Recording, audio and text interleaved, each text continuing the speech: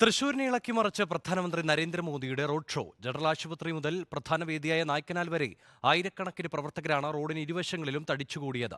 മഹിളാ സമ്മേളനത്തിൽ പങ്കെടുത്ത ശേഷം അഞ്ചരയോടെ പ്രധാനമന്ത്രി മടങ്ങി.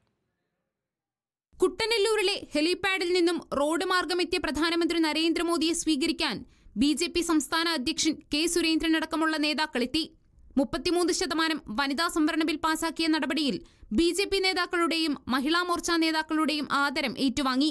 തുടർന്ന് മൂന്നിരുപതോടെ ജനറൽ ആശുപത്രി കവാടത്തിന് മുന്നിലൂടെ തുറന്ന വാഹനത്തിൽ road show.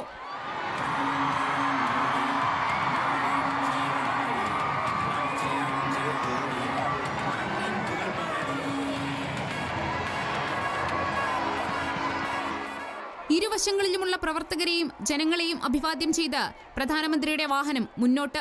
B J P സംസ്ഥാന അധ്യക്ഷൻ കെ സുരേന്ദ്രൻ മഹിളാ മോർച്ച സംസ്ഥാന അധ്യക്ഷ നിവേദിത സുബ്രഹ്മണ്യൻ സുരേഷ് ഗോപി എന്നിവരാണ് നരേന്ദ്രമോദിക്കൊപ്പം റോഡ് ഷോയിൽ പങ്കെടുത്തത്.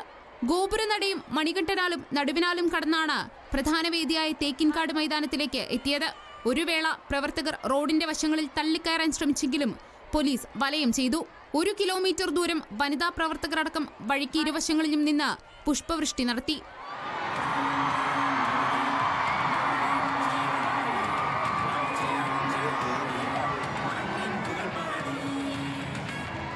എസ് പി ജിയുടെ കനത്ത സുരക്ഷാ വലയത്തിലായിരുന്നു റോഡ് ഷോ.